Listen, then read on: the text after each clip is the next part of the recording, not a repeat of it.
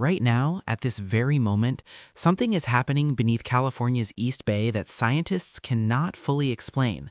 The ground trembles, again and again. A relentless pattern has gripped the region for weeks. Not a single devastating rupture followed by aftershocks, but dozens upon dozens of tremors striking without warning, without end. Most events are too modest to crack foundations, yet powerful enough to jolt residents from sleep and send dishes clattering across kitchen counters. This is not the familiar rhythm of a major earthquake followed by its fading echoes. It is something more unsettling, an earthquake swarm that refuses to stop. Why has this fault section awakened now after years of relative quiet? What does it mean when small ruptures cluster without a dominant main shock? And could this pattern be transferring accumulated strain to the San Andreas Fault, loading it for something catastrophic? Since early November, the Calaveras Fault has unleashed over 150 seismic events in a concentrated zone southeast of San Ramon. The largest struck on November 9th at magnitude 3.8, followed weeks later by a magnitude 3.6 on December 8th. But these headline tremors tell only part of the story. Between them, dozens of smaller ruptures rattled through at magnitudes between 2.0 and 3.2, each releasing stored energy in sharp bursts.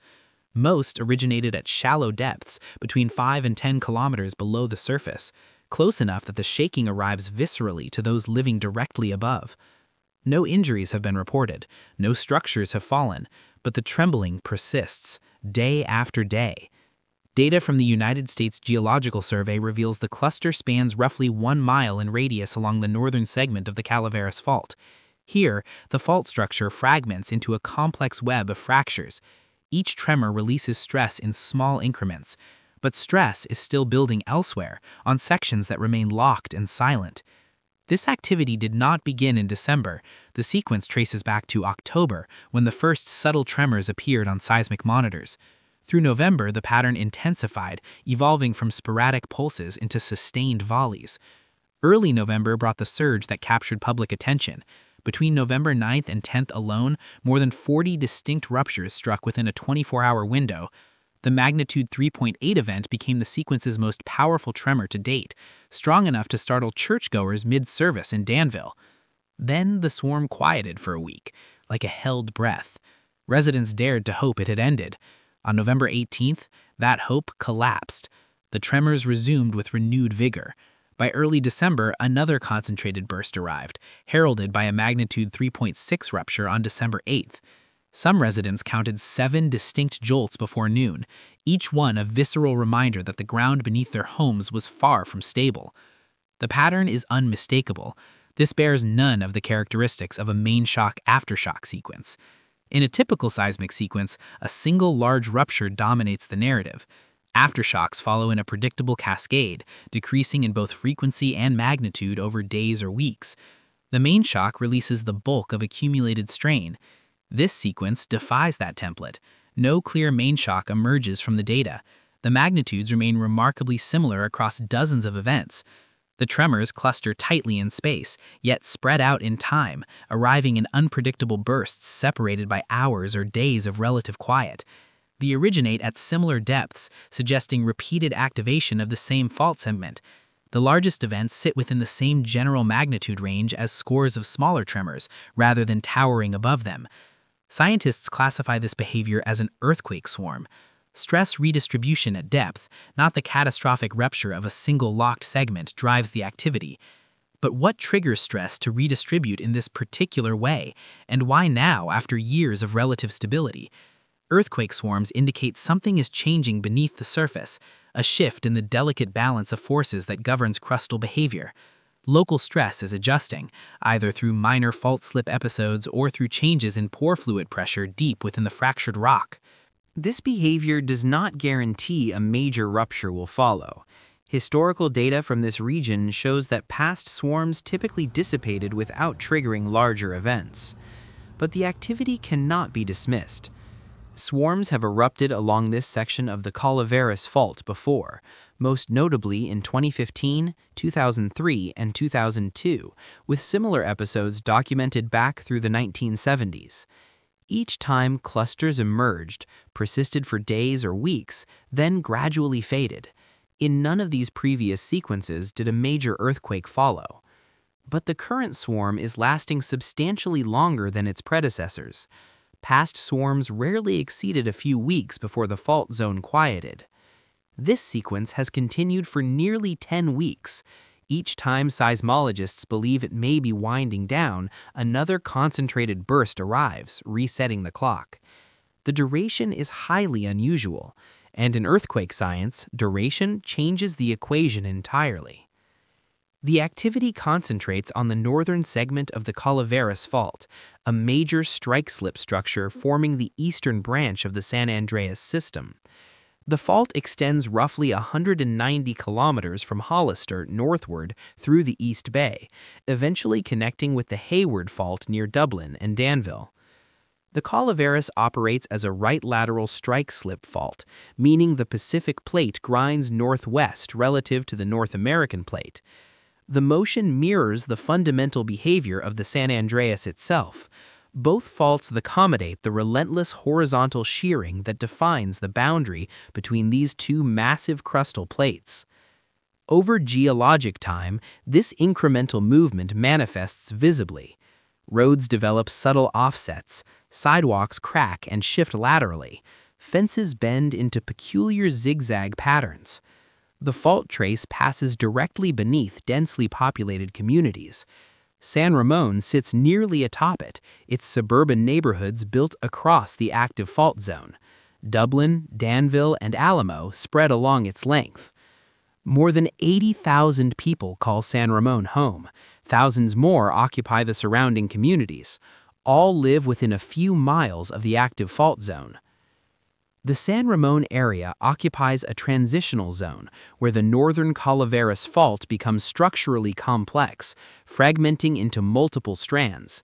The fault splinters into a maze of smaller, unnamed faults arranged in a fractured network between the main Calaveras trace and Mount Diablo to the east. This structural complexity predisposes the area to swarm behavior. Fluids can migrate through the fractured crust more easily here than along simpler fault segments. As these fluids infiltrate fault surfaces, they reduce friction dramatically, triggering clusters of small earthquakes. The swarms light up the network in bursts of activity. Then, when fluid pressure stabilizes, the activity ceases. For years, sometimes decades, the area returns to silence. But the fundamental question persists why do these swarms occur at all? The answer lies partly in the phenomenon of aseismic creep. Some sections of the Calaveras Fault creep steadily at rates between 3 and 20 millimeters per year, releasing strain through continuous gradual slip rather than through sudden ruptures. Creep reduces seismic hazard by releasing accumulated strain incrementally, but it does not eliminate danger entirely.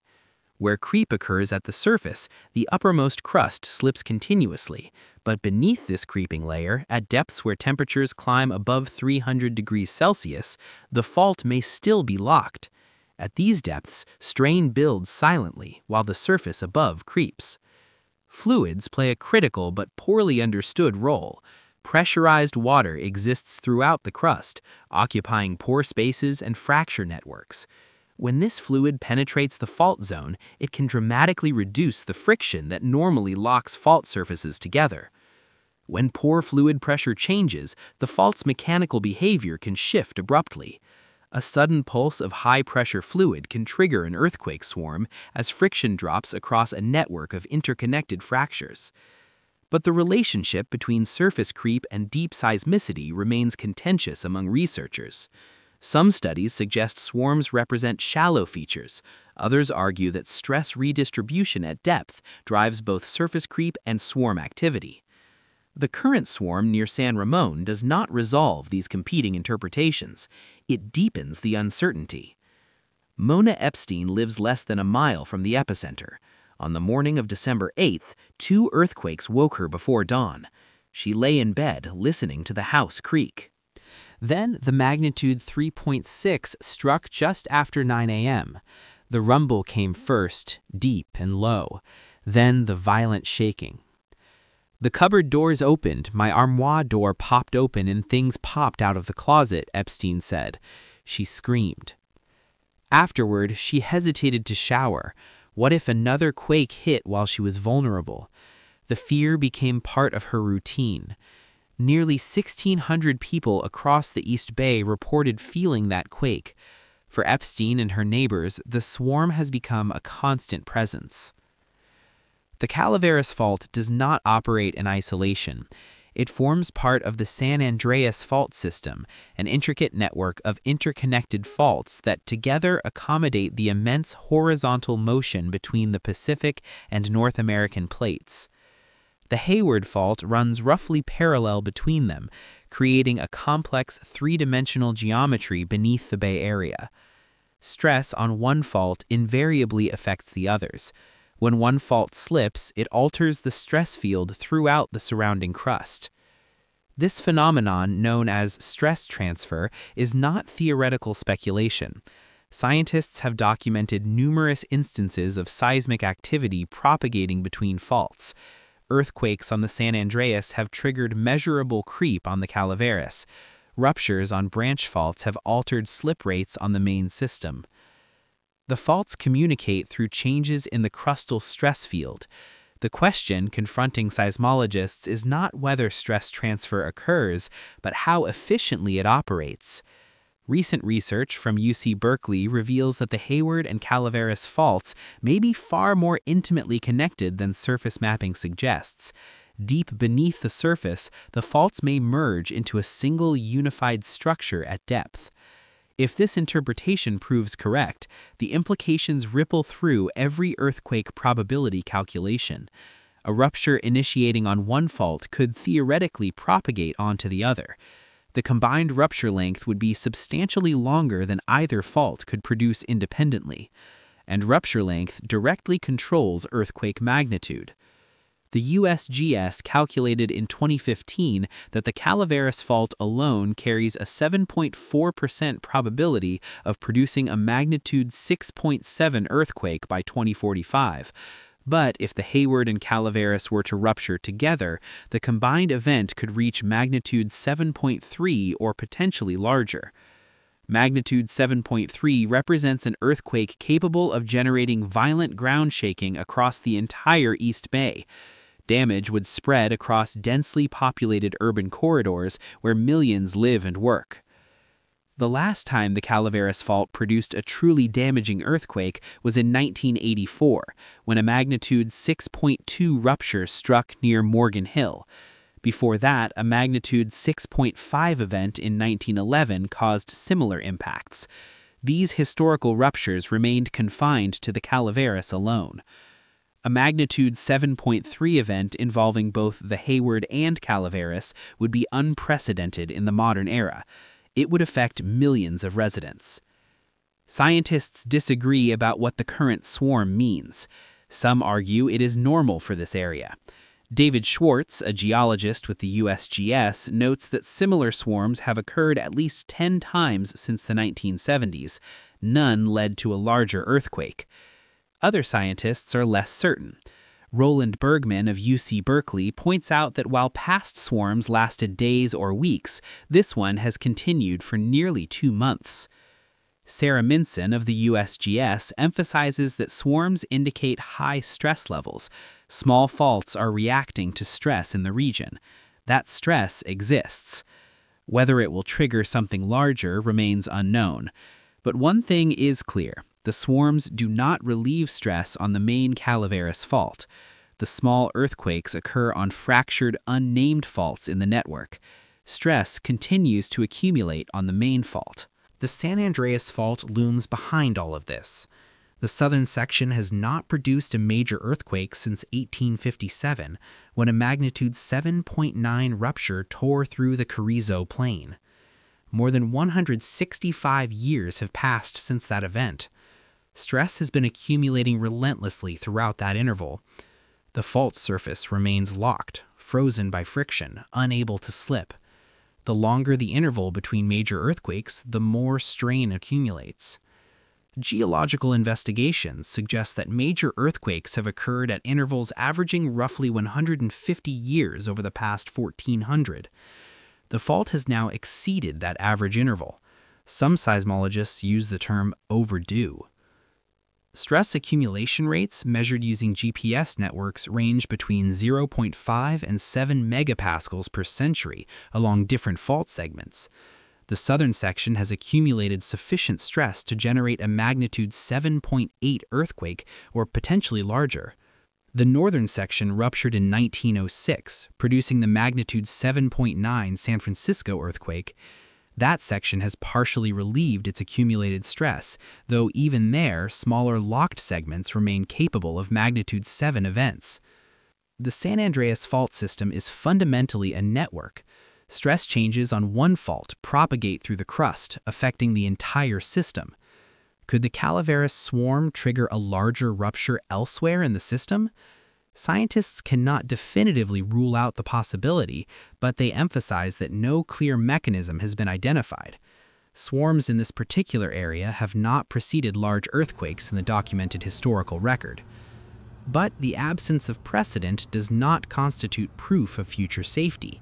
Past behavior provides guidance, not guarantees. The San Andreas Fault and its major branches have remained relatively quiet for decades, that prolonged quiet will not persist indefinitely. The stress continues building, millimeter by millimeter, year after year. And the swarm in San Ramon serves as a vivid reminder that the ground beneath California is never truly still. Scientists possess substantial knowledge about the Calaveras Fault's capabilities. They know it can generate earthquakes between magnitude 6.5 and 7.0, they know the current swarm reflects stress redistribution at shallow to intermediate depths. They know the swarm has persisted longer than most previous sequences. But critical gaps remain in their understanding. They cannot predict when the swarm will cease. They cannot determine with certainty whether a larger earthquake will follow. They cannot precisely map how stress transfers between the Calaveras, Hayward, and San Andreas faults at depths beyond direct observation the seismic monitoring network has developed concerning gaps. Several key stations experienced equipment failures during critical periods of swarm activity. Some data has been lost permanently. The uncertainty is not reassuring, but it represents the current state of earthquake science. Faults are extraordinarily complex structures. Stress accumulation proceeds gradually over decades. Triggering mechanisms often operate at scales below the resolution of monitoring networks. All seismologists can do is observe, measure, analyze, and refine their models, and wait for the next earthquake to test whether their understanding has improved. Over 150 seismic events have struck the San Ramon area since October, and the swarm shows no definitive signs of stopping. The stress remains elevated throughout the fractured fault network, the connection to the Hayward Fault creates pathways for stress transfer, and the San Andreas Fault remains locked, silent, and accumulating strain. What will finally break that ominous silence? And when the San Andreas ruptures, will the preceding signs resemble what is happening right now in San Ramon, or will it strike without warning from a section that appeared dormant until the moment it failed?